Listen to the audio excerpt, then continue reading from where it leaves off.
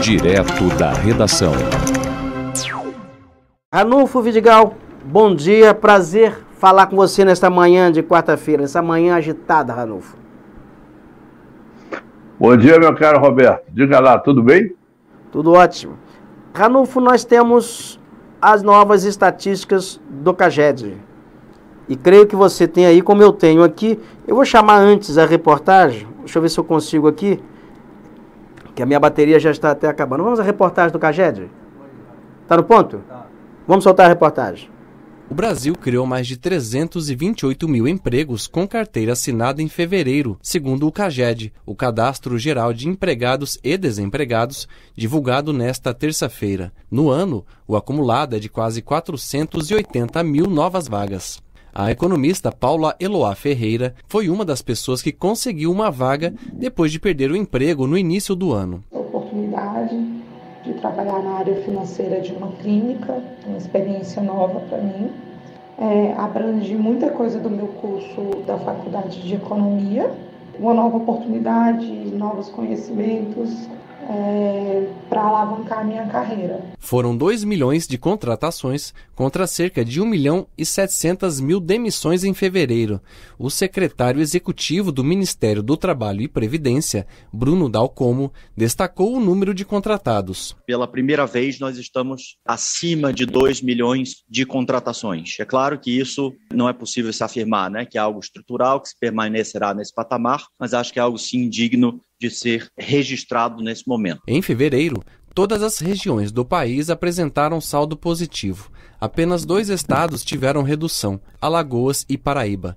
São Paulo liderou com mais 98 mil novas oportunidades, seguido por Minas Gerais e Paraná. Serviços foi o setor com mais vagas criadas, 215 mil. Na sequência ficaram indústria, construção, agropecuária e comércio. Da Rádio Nacional em Brasília, Gabriel Brum. Ranulfo Vidigal aqui na região fazendo um recorte. Como é que ficamos as estatísticas? Com as estatísticas do CAGED aqui para Rio das Ostras, aí para o norte do estado do Rio de Janeiro, Ranulfo. Foi um mês positivo, Roberto. É, o setor de serviços, com é, a redução da pandemia e a chegada a mais de 80% das pessoas já imunizadas, este setor, que é muito importante na contratação de trabalhadores em escala nacional e escala regional, puxou a empregabilidade no mês de fevereiro. Agora, se nós olharmos os dois meses, os primeiros dois meses do ano, a gente vai ver que a região de Macaé continua muito dinâmica e puxando o trem da empregabilidade. Macaé teve 1.376 contratações líquidas. Na sequência veio o Rio das Ostras com 419 contratações líquidas. Depois São João da Barra, onde está o Porto do Açu com 277 contratações líquidas. E Campos, que é a cidade, a maior cidade da região, apenas 92 vagas líquidas de contratação. Portanto, Macaé puxa o processo e Campos continua, infelizmente, num processo de estagnação, embora no mês de fevereiro especificamente o setor de serviços tenha puxado a empregabilidade. É isso, Roberto.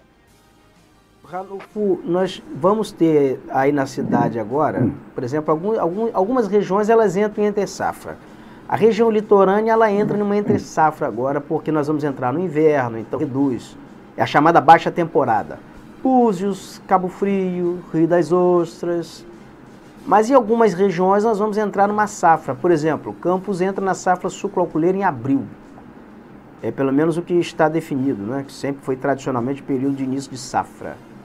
E isso deve dar uma alavancada na geração de empregos em campos. E por outro lado, nós vamos ter uma retração ou uma estagnação na região litorânea, né, Ranulfo? Uma boa observação sua, Alberto. É, a safra canavieira é, do norte fluminense, com destaque para Campos e São Francisco de Itabapuana, é, ela está prevista aí colher entre 1 milhão e 800 e 2 milhões de toneladas. Serão 34 mil hectares. Portanto, vamos ter aí a empregabilidade direta e indireta de mais de 5 mil pessoas a partir do mês de abril, quando as chuvas ficam mais escassas e a produção e a colheita da safra ganha corpo. Portanto, é muito boa a sua observação. Já a região é, litorânea, ela vai ter empregabilidade talvez um pouco maior é, no, nas férias de inverno, que seriam ali junho e julho, né, Roberto? E aí as pousadas, ela, os hotéis, é, tem geralmente pacotes promocionais para baixa temporada, é mais barato, então você tem realmente um fluxo de pessoas que preferem viajar nesse período. E pode até ser, o Ranulfo, que nós tenhamos um aumento, uma observação boa sua, pelo seguinte, como os preços, eles estão muito elevados, preços de passagens, preços de hospedagens, preços de alimentos, é possível que hajam assim pacotes mais atrativos para que as pessoas viajem nessa baixa temporada, não, é, Ranulfo? É verdade. E, e, vão aproveitar exatamente essa, essa capacidade de fazer as chamadas viagens mais curtas, porque também, Roberto, o preço do combustível caro inviabiliza viagens longas. Aliás, foi bom você tocar na questão da caristia.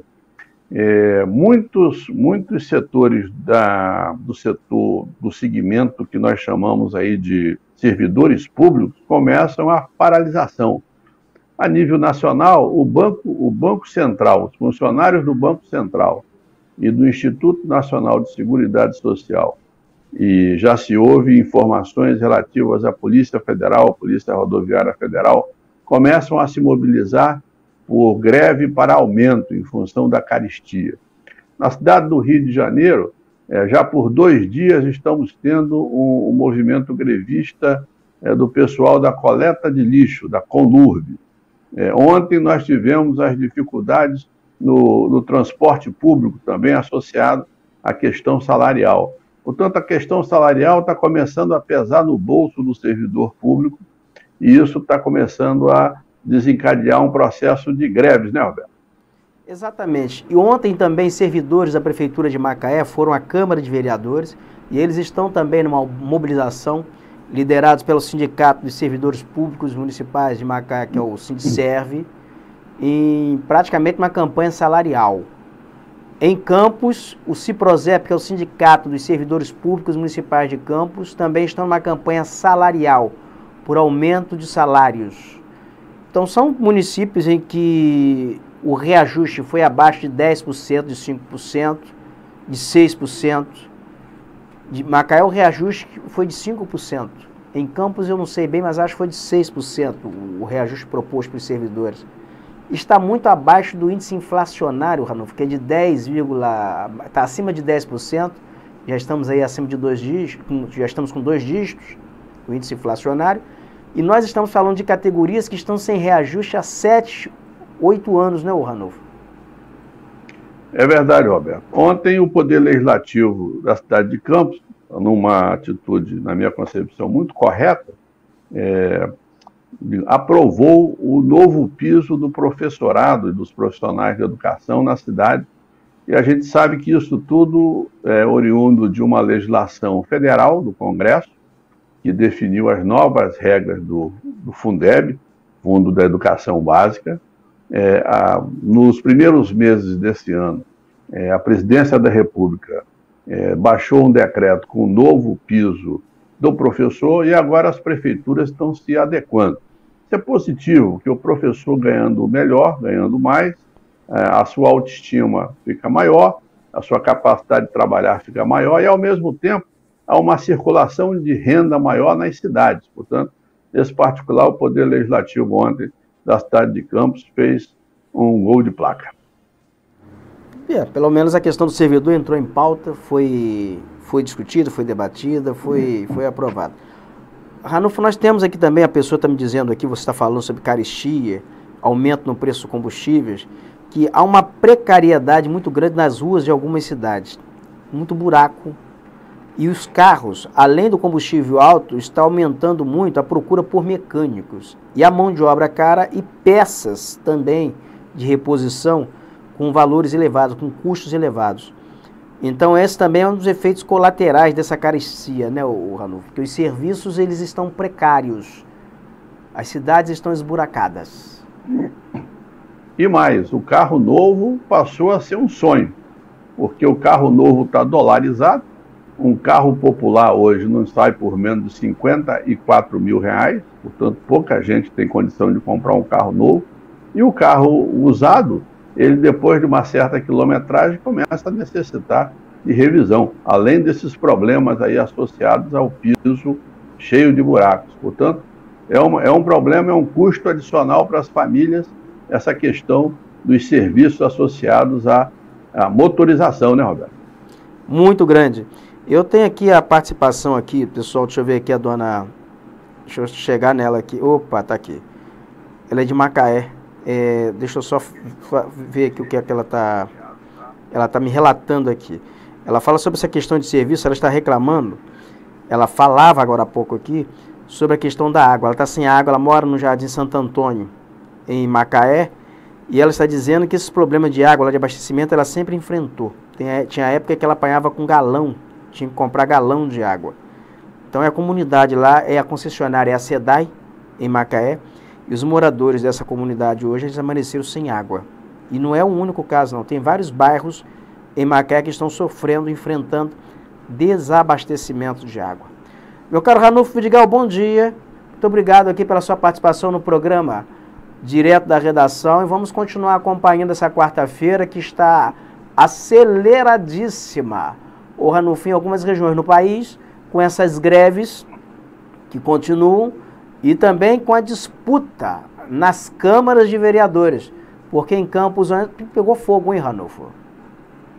Pegou fogo e você viu que na estatística que nós mostramos, Campos está com apenas 92 vagas nos primeiros dois meses de é, é, empregabilidade. Portanto, uma economia estagnada precisa de paz no poder legislativo para que as legislações possam avançar e a economia possa gerar prosperidade para todos. Esse impasse na Câmara de Vereadores não interessa a ninguém, né, Roberto? Não interessa, não. Mas tenha um bom dia, Ranulfo. Muito obrigado. Bom dia para toda a sua equipe, meu amigo. Muito obrigado. Ranulfo Vidigal, que também é colunista do Portal Viu. E você acompanha as notícias em portalview.com.br.